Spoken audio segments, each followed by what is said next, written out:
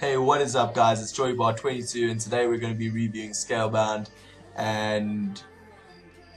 Um, what? Scalebound was cancelled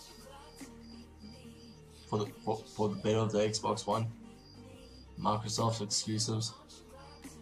Is what? But but it looked really good. Well, uh, I can review Ghost Recon Wildlands. Uh, maybe we could. Guess I guess we can swap the review.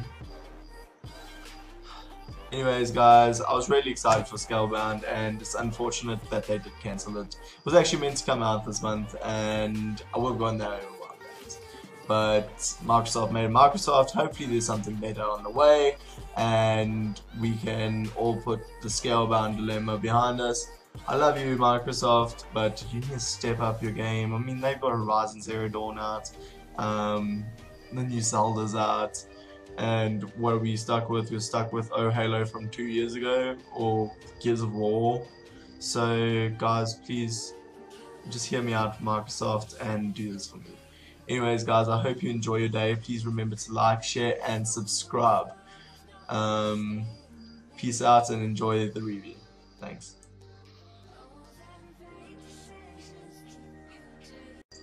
Anyways, guys, right off the bat, this game looks stunning. This is one of the screenshots I took after taking down one of the bosses. I'm going to start off with, wow, this game's beautiful. There's so much to do in this world. It's always booming. There's always something going on, whether it's something to do with the cartel or whoever you're fighting. This is just a beautiful world.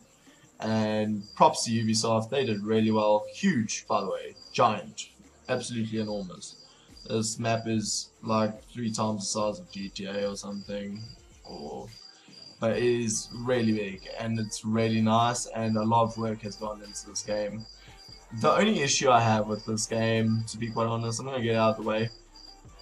It's it lacks features, kind of like in-game features, because the game is really good and there's always weird glitches also. Weird glitches in this game.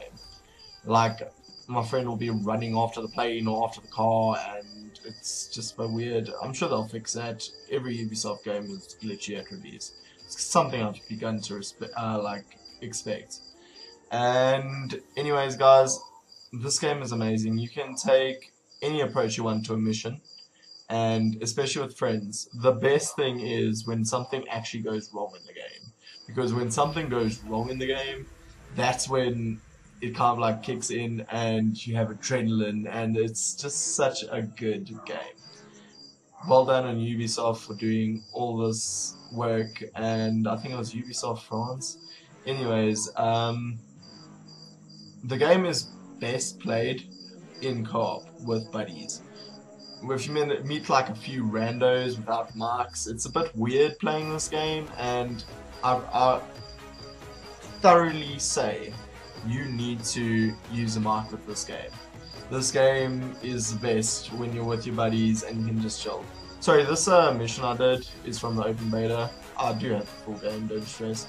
Um, it's just one of the best missions I did, I'd say. Most stealthy missions. And yeah, that's why I'm kind of showcasing this mission. Anyways, what I wanted to talk to you about, the soundtrack. The soundtrack in this game is really good. I got the deluxe edition, and it came with the soundtrack.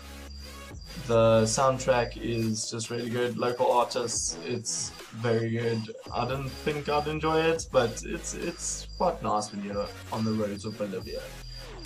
And I'm happy I got this game. Let me just say that. There's a PvP coming, which I'm super excited for. If anyone has played Ghost Recon, you know the PvP is freaking awesome.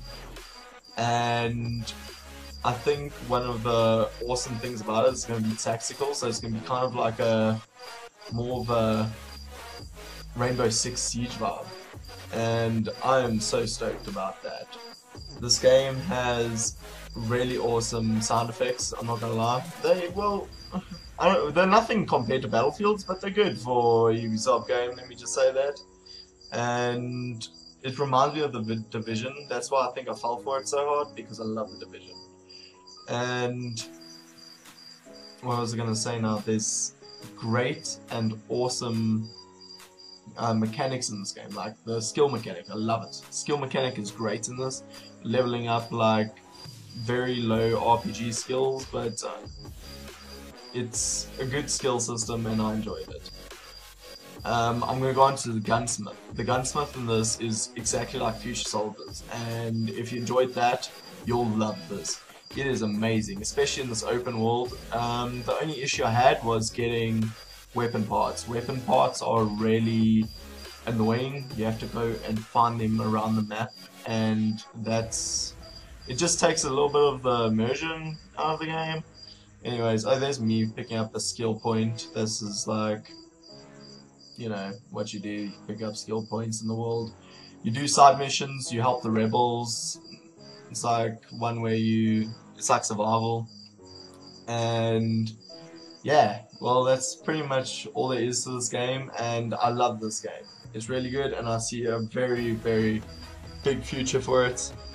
Especially with the PvP coming out, I'll maybe give you an update on the PvP, maybe do a few videos of me playing. If you want that, let me know. And yeah, anyways, I will be making more videos very soon and enjoy your day please remember to like, share, and subscribe. Thank you so much, guys. We'll be right back.